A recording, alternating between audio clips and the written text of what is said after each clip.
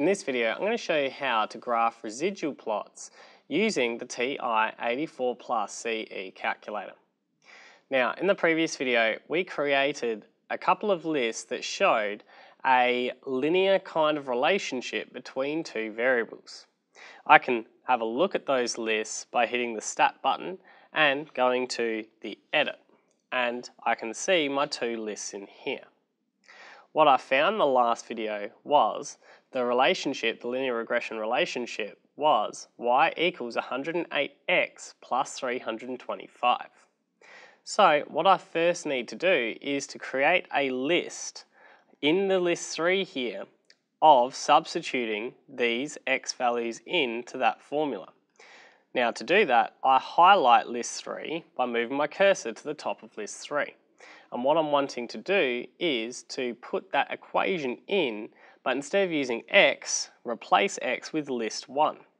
So my equation is 108 multiplied by my x value, which in this case is list 1.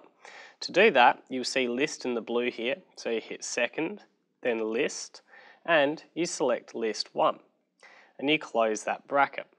Then I need to add 325. So plus 325. When I hit the enter, that'll automatically create a list where it's substituted this x value into uh, the list 3 in here.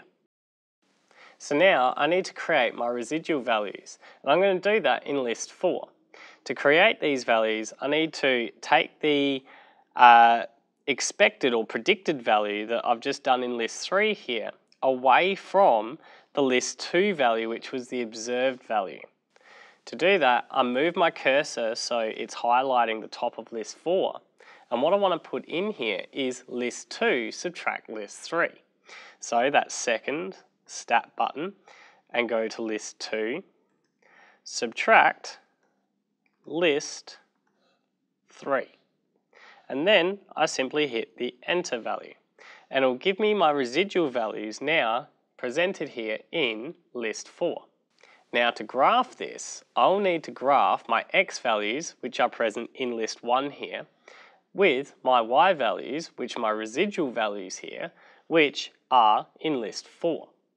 Now previously, the sort of graph that I was graphing was list 1 with list 2. So I need to change this. To change it, I go to second and stat plot. And you'll notice here that I've still got this first plot one active. I may not want to choose to change the list 1 and list 2 that this is currently graphing. Instead, I may want to choose to turn it off. So I press enter to go in here and I highlight the off and press enter. Now I go to plot 2, so moving the cursor up until it's on plot 2 and hit enter.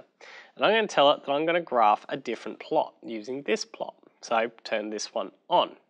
Still want a scatter plot graph. My X list is list 1 and I've already changed my Y list from something I was doing earlier to list 4 but my residual values are my Y values which are present in list 4. If you need to change that you go to second list and you go to list 4 like that. Now you've done that if you hit the graph button, you'll get something that looks like this, assuming you had the view window that I had previously. Now I'm going to need to change my view window to better fit the residual values that I've got. So let's have a look at those. If I press the stat button and go back to my editing the lists, my residual values I can see range from positive 65 through to negative 47. So if I did positive 70 through negative 70, that'll capture all of the residual values. So to change my window, I go to window. My X values are still fine. So let's change my Y values now to negative 70 as my minimum, my maximum of 70, and for a scale, I'm going to use 10 here. So let's graph that and have a look at what it looks like. So now you can see here, I've got the residual graph of these values here.